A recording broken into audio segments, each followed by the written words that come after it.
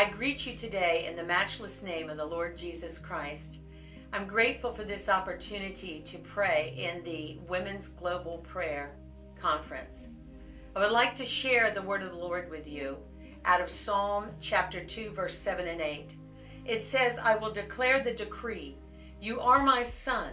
Ask of me, and I will give you the nations for your inheritance and the ends of the earth for your possession. The revelation of God's purpose is for the nations is souls.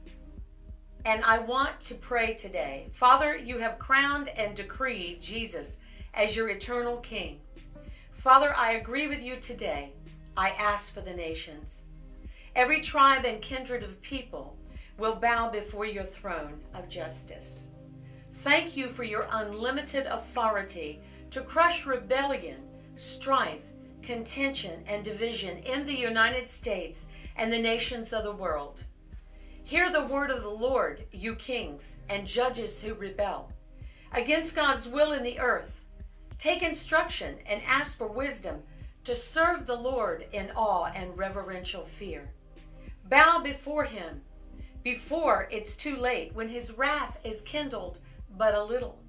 Come and be blessed with all those who put their trust in him. Isaiah 61 11.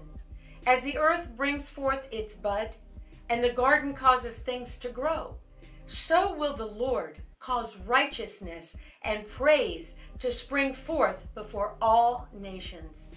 Isaiah 60 18. Violence shall no more be heard in this land, wasting nor destruction and within your borders it will not be heard. But you shall call your walls salvation and your gates praise. Amen to that. Job 12, 23 and 25 says, Humble yourselves before God Almighty, who makes nations great and destroys them. He enlarges nations and he guides them. Do not drink from the cup of worldly opinions as a drunken man but seek wisdom and counsel from the Lord, whose hand is on the life of every living thing and the breath of all mankind. This is the word of the Lord. Amen. Be blessed.